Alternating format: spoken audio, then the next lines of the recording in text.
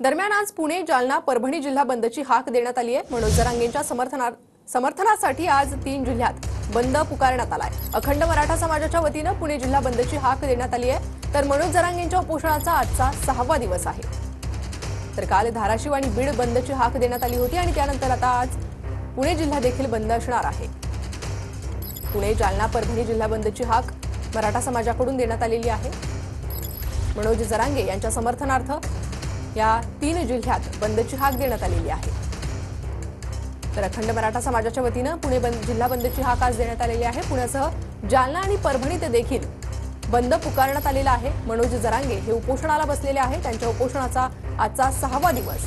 तर मराठा आरक्षण आणि सगळे सोयरे या मागणीवर मनोज जरांगे ठाम असून त्यांच्या उपोषणाला पुन्हा सुरुवात झालेली आहे. त्यांच्या उपोषणाचा आजचा सहावा दिवस आहे आणि त्यांच्या समर्थनासाठी काल देखील बीड धाराशिव या ठिकाणी बंद पुकारण्यात आला होता.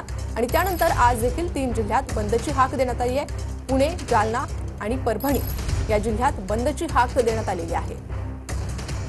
त्यामुळे किती मोठ्या प्रमाणात या बंदला पाठिंबा मिळतो हे पाहणं महत्वाचं असणार आहे.